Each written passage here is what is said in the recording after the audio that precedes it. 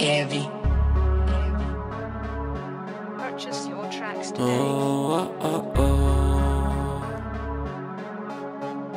Oh, oh, oh, oh. 4026 Blue Boy, on est 86 Blue Boy, oh oh oh. Tu connais la devise Blue Boy, les five sont racistes Blue Boy, oh oh oh. 4026 Blue Boy, on est 86 Blue Boy, oh oh oh. Connais la devise Blue Boy, les five sont racistes Blue Boy, oh oh oh. Vous faites pas les-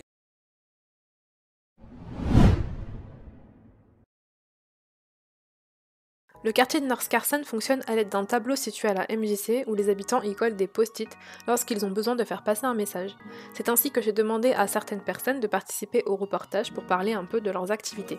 Damon Parks est l'un des premiers à qui j'ai pu parler. J'aurais déjà une première question, c'est est-ce que vous pouvez vous présenter en quelques mots euh, votre vie, votre travail, etc. Euh, pas de problème, moi je m'appelle Damon Park.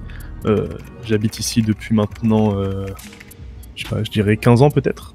Euh, J'ai repris la, la maison de mes parents quand ils ont déménagé à New York. Euh, je travaille au LSSD en tant que sergent.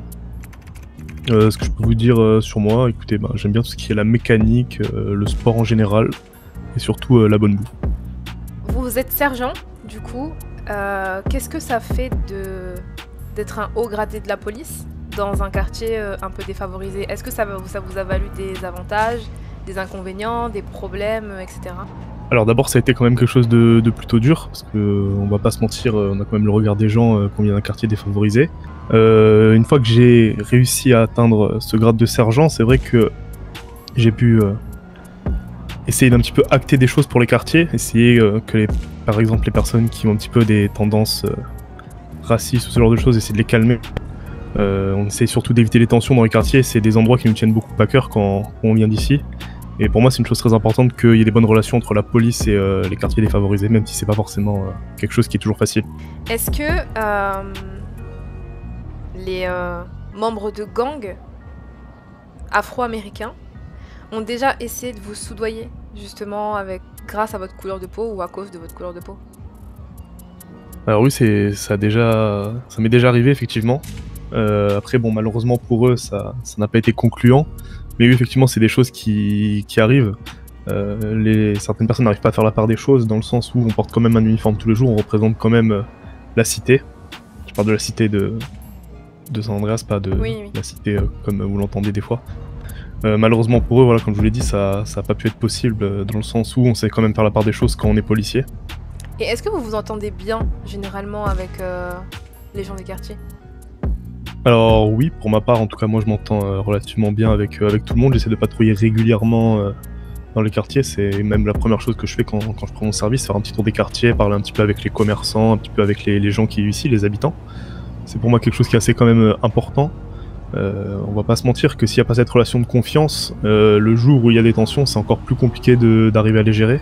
Donc pour moi, oui, effectivement, c'est très important d'avoir des bonnes relations avec les gens qui habitent dans, dans les quartiers en général.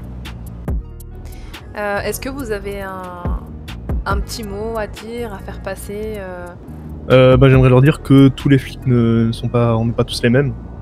C'est pas parce qu'ils ont une mauvaise expérience avec un policier que forcément ça se reproduira à chaque fois. Euh, faut essayer également de leur côté de faire euh, la part des choses. Alors peut-être qu'on vient du même quartier, mais malheureusement on porte aussi un uniforme et des fois on est obligé de faire notre métier avant euh, le fait qu'on vienne de ce quartier-là. Donc voilà, faut qu'ils soient aussi indulgents, indulgents avec la police.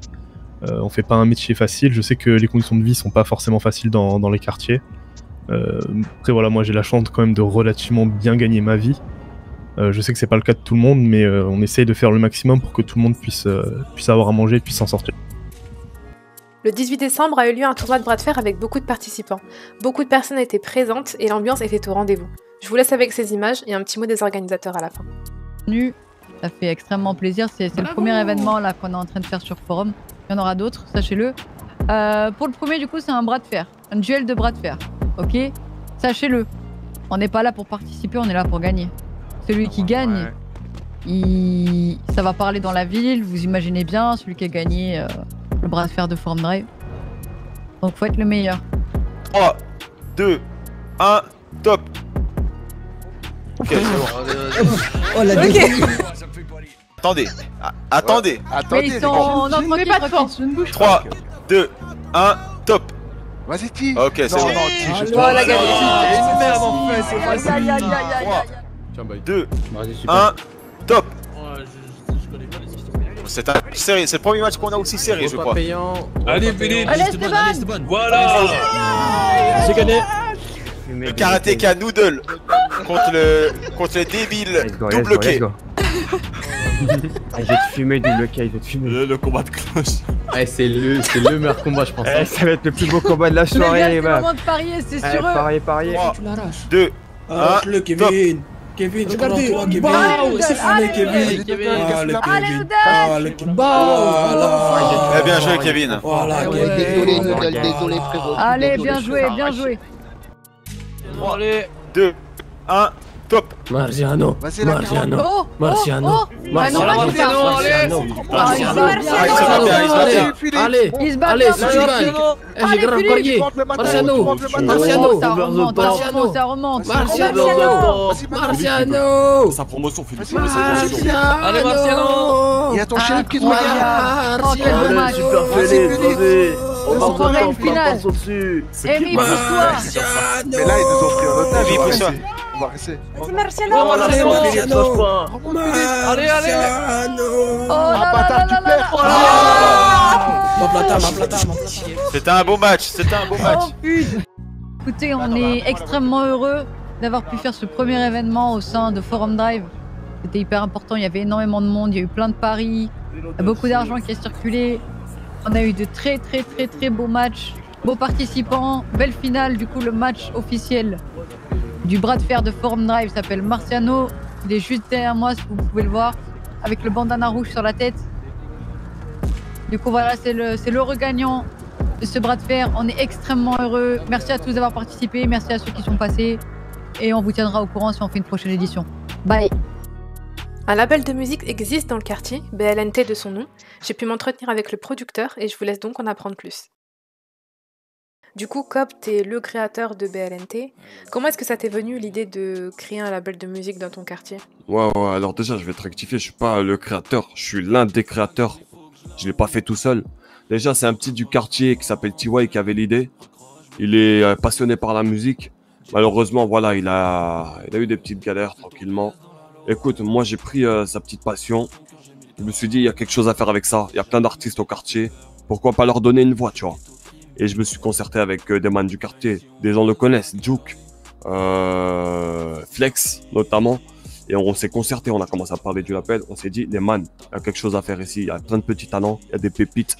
Faut qu'on fasse un truc. Est-ce que vous avez une aide externe, des investisseurs, des subventions, euh, etc. Écoute, euh, je te mens pas. Euh, pour le premier studio, studio là où on est, donc c'est directement localisé à Forum, Nord Carson. Euh, c'est moi-même, j'ai mis de ma poche. J'ai payé le matériel, je me suis dit, écoute, quitte à leur donner une voix, autant leur donner les moyens qu'elle soit bien entendue, tu vois. C'est le but. Il y a des gens au quartier qui ont réussi leur vie, avec qui je m'entends très bien, qui ont des contacts. Et au fil, euh, fil à aiguille, on a, on a réussi à trouver des accords avec euh, un fonds d'investissement, un APL, pour signer un contrat avec Triad Record, tout simplement. Ce contrat a été signé, c'est en cours actuellement, et euh, ça a apporté que du bon. T'as évoqué Triad Record, est-ce que tu peux nous dire ce que c'est? C'est une maison de disques. C'est une maison de disques, tout simplement. C'est des mecs qui regroupent plusieurs labels sous leur nom de domaine et qui, justement, euh, donc, bien sûr, il y a le côté businessman où il faut un maximum de profit, mais euh, pour avoir parlé avec le patron, Joe, euh, c'est quelqu'un qui est réellement passionné par la musique. Et je te mens pas que ça aurait pas été le cas, parce qu'on a eu un rendez-vous, un entretien, on a été sur la même longueur d'onde. C'est pour ça que j'ai signé. Et du coup, c'est quoi vos projets pour l'avenir? Une mixtape. C'est, on en parle, c'est dans les bacs. On n'a pas encore de nom, on sait pas quel artiste va figurer dessus. Euh, Il il y a des mixtapes qui se préparent, c'est sans réflexion. Showcase aussi, sans réflexion. Et euh, il y a des clips qui vont arriver. Des clips, on va commencer à investir dans des clips, c'est le but, c'est l'objectif.